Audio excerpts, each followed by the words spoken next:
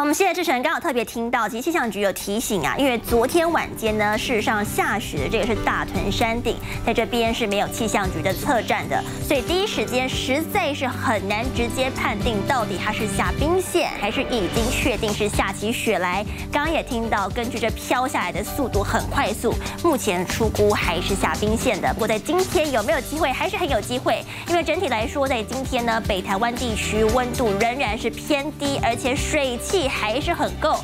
现在华南云系仍然在经过台湾上空当中，也因此今天北部七到十一度，降雨几率高达了百分之九十。中南部地区相对理想一些些，不过低温的部分还是要特别注意，是徘徊在九到十度之间。东北部一样是迎风面，在今天降雨几率持续是偏高，达百分之七十。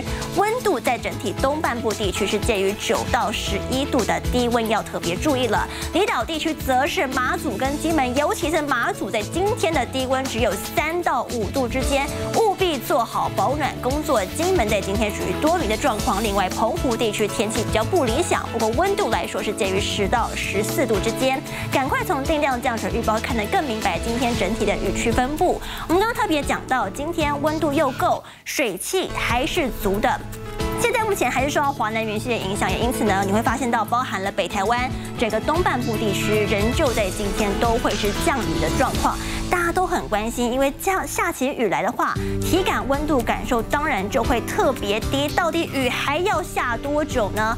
粗估这两天都还是会跟昨天是类似的状况，而且你会发现部分地区这雨下的还蛮明显的。要一路到了礼拜二的白天之后，这雨才会慢慢的在北台湾及东半部回暖。也因此，今天整体的雨区分布依旧集中在北台湾还有东半部地区，出门在外还是要携带雨具。赶快从最新的接下来低温温度趋势带你来看到，首先要特别提醒北台湾地区了。今天的低温要八度，不过明后天会更冷。礼拜一、礼拜二低温只有七度，那到了礼拜三才会短暂开始慢慢慢慢的很微幅的回温。到礼拜三的清晨仍然是有八度的低温。中台湾地区也不遑多让啊，八到九度之间，特别都一定要注意保暖。南部地区可能相对理想一些，东台湾地区也大概是介于十一度左右，南部十到十三度。到了礼拜三开始才会明。显得回温，我们更为你整理了整个寒潮的时间表，特别带你来关心。首先，得今天温度仍然是低的，水汽足，在今天七星山、大屯山还是有机会可以盼得雪，因为都是在一千公尺高山是有机会下雪的。明天开始，我们刚刚特别讲到，今天还不是最冷，昨天也不是最冷。不要以为这一波最冷的时间点正在度过当中，最冷的时间点是什么时候呢？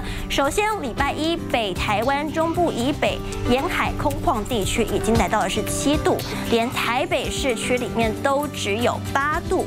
但是最冷的时间点会落在礼拜一的入夜之后到礼拜二的清晨之间。清晨最冷时间点包含了连台北市。都是下探七度，要特别特别注意了。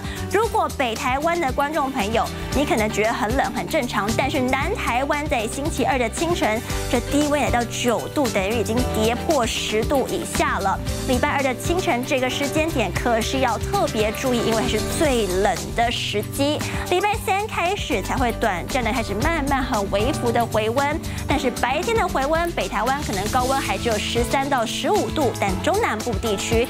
已经有十八到二十二度，整体看起来这一波啊，其实从上礼拜天开始报道之后，接连有三波的冷空气不断接续再来之后，你会发现到，尤其在寒流，礼拜五晚间来了，一路要到礼拜三才会开始回暖。整体来说，这冷的时间已经超过了六十个小时，接下来还得应付礼拜一、礼拜二的低温，要特别注意。提醒观众朋友们，一定要锁定中天新闻的气象时间，当然也要做好保暖工作。